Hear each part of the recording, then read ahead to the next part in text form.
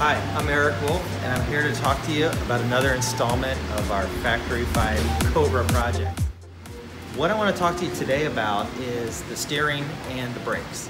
So over here, you notice that the line directly interferes with the upper A-arm, and then when we turn the wheel, it actually stretches the line taut. So we have to figure out a way to limit the wheel travel here. And what we decided to do was 3D print some steering stops to limit the articulation. So we made two different size stops with a gap in the center so that they have some flex. This will allow the stops to snap on securely to the steering rack. Now I'll show you how easy it is to put these on. We made these out of polycarbonate on the Evo 3D printer. Print time is probably somewhere around an hour, hour and a half for both parts. Material costs maybe on the order of a dollar or so.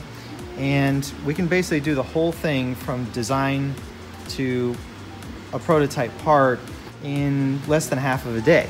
So what we've got here is we've got our factory stops and we'll insert this additional one.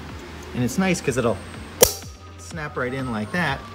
And on the other side of the steering rack, we found out that we actually needed a smaller spacer to have similar articulation. So we made a smaller version right there.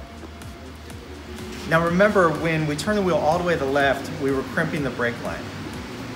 Let's try it now. Now that's all the way to the left. You've got a solid stop with a polycarbonate insert in place. Now let's turn the wheel all the way to the right. Now we've still got some flex in the brake line.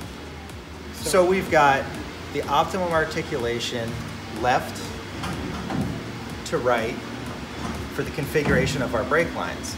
And also we don't have to worry about the wheels interfering with the frame or probably interfering with other parts of the body. And it's a permanent solution. The polycarbonate will last the life of the car and it's a safe solution because the polycarbonate is very strong and it's also inexpensive and quick to make. This is really a perfect opportunity of using a desktop 3D printer to optimize your build.